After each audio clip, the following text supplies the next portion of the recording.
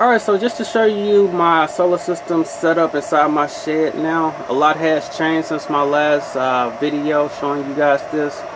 To the left over here, I just have a temperature device just showing me the temp inside the shed.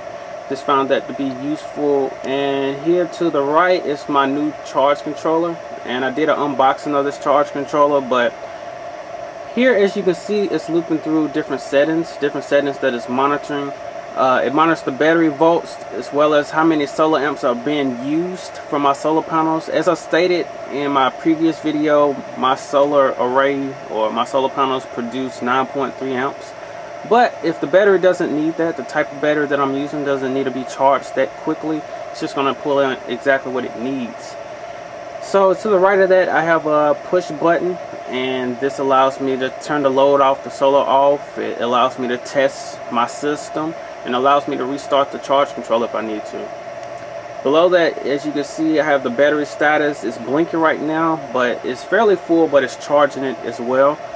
And to the left of that is a temp sensor.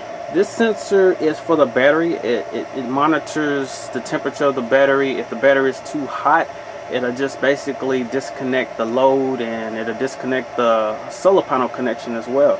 But I don't have that installed yet, but I can later on. It's, it was optional. And to the left of that is my solar charging light. It just is basically telling me if I'm getting energy from my solar panels. And also you can see the battery types. I can select if my battery bank is a gel batteries or is it sealed or is it flooded. And below that is the terminals for the solar connection as well as for the battery and the load. But again, as I stated in my previous video, this charge controller has so many features to it. I really don't have to worry about anything going wrong in my solar system. This charge controller is really just protecting just about everything, especially for my batteries. But anyway, to just move down here a little bit, as you can see, I'm still using my old charge controller and like I stated in my previous video this charge controller can only handle 10 amps but that was fairly close to how many amps I'm producing now which is 9.3 and sometimes you produce a little bit more than what you're supposed to be producing. So what I'm probably going to use this for I'm not really sure yet. I may hook up a fan to this and buy another inverter as well but I do have this hooked up to a, a smaller battery and it's being powered by the 5 watt solar panel so it's not charging that battery as quickly but didn't want to just throw it out and not use it for anything. And here you can see I have my 400 watt inverter. Uh, again this was enough for what I needed to use uh, use it for which is to power my netbook.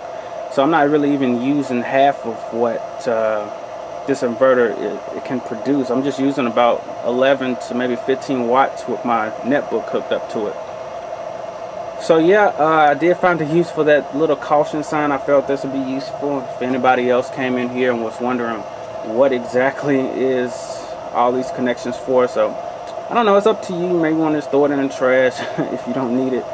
And on the floor here, I still got a little work to do. Um, have a little, I have one battery, the uh, I think it's a 115 amp hours this is the battery I used in my first solar panel project. It isn't a full deep cycle battery. It's like half starter and half deep cycle. But uh, I didn't want to just throw it out not use it at all. So I'm just going to use it until it goes dead. But I do need to buy at least another one. So my battery uh, charge doesn't get below 80%. But for now it'll be okay. And here I have a smaller battery which is plugged into the older charge controller which I just showed you and again, I might use this to power a little fan that vents out this shed a little bit, just keep it a little, keep it cooler. But again, this part isn't really even done yet. I definitely want to fix these connections and get some um, larger wires as well, some thicker wires, I should say. And I have a fuse, a 50 amp fuse coming in the mail as well. I have two of those coming in the mail. I want to hook those up as well too. So yeah, just want to give you a little an idea how my setup is coming along here for the most part everything is how I want it but I just have a couple little more minor things I need to fix up for the batteries. But yeah let's just go inside and let me show you how that's hooked up with my uh, netbook. Alright so here's just my basic setup here. I have my cord from my inverter coming up under the floor into this outlet that I just installed. And it's not an outlet that's plugged into the wall or that's inside the wall. It's just an outlet just hanging out, which is fine. Again, I don't want to do anything that's permanent. And I just have my kilowatt meter plugged directly into it so I can keep an eye on how many watts different devices are consuming. And over here to the right, I have my netbook that's going to stay on 24-7 and I have another power outlet just to make it easier to plug multiple devices in at the same time. So with this system, it's great for if the power goes out, you need to plug in a TV. I can plug in just about any TV in this house into it, but it's I can't run those devices 24/7.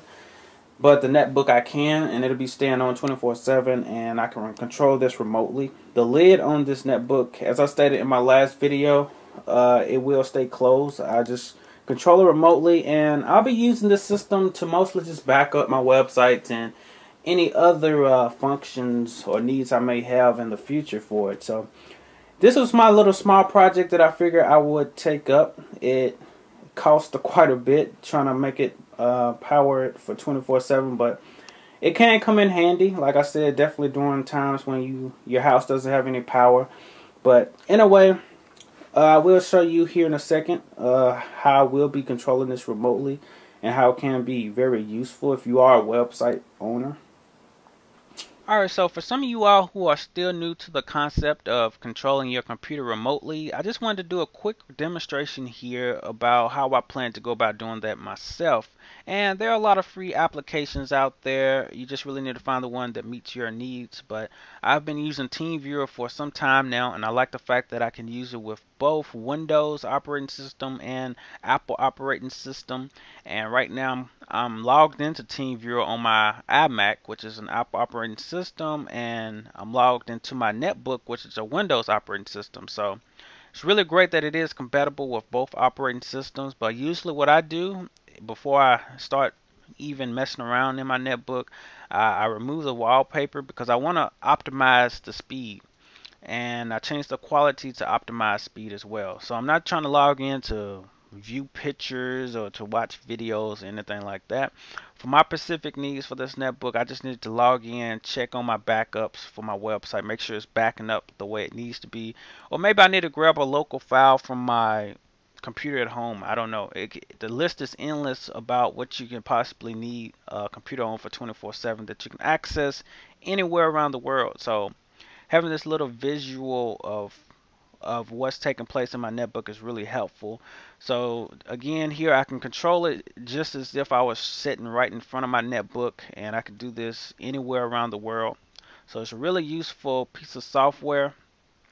And another application that I enjoy using is the LogMeIn. It's a web application, not something you, well, you do have to download one software onto your netbook to use it, but other than that, it's a really simple application or web app to use for your computer. I can log in and control my computer the same way the TeamViewer allows me to control it. So let me just log in right fast here. And here what what I like about LogMeIn is it gives me of course this ability to control my netbook or check different files anything like that but it also gives me a lot of useful information about what's going on with my netbook. So here I can see the system information events, the processes, network, traffic, disk drives, the space, and it just it, shows a lot of inform useful information that you may want to know uh, what's taking place on your netbook. And it should probably tell you the temperature as well, which would be great. So having these two applications installed, I really have everything I need to, to have to really monitor my netbook and to again to make sure my, my websites are, are being backed up the the way they should be being backed up. So it's a very important. Definitely, if you do care about your websites, you should be taking your own personal backs up backups. And it's really great that this netbook is being powered only by solar energy and it's on 24/7. So this was my little small project for the summer. So again, if you have any questions about anything, uh, feel free to leave me a comment, send me a message, and thank you for viewing. And I'll see you next time.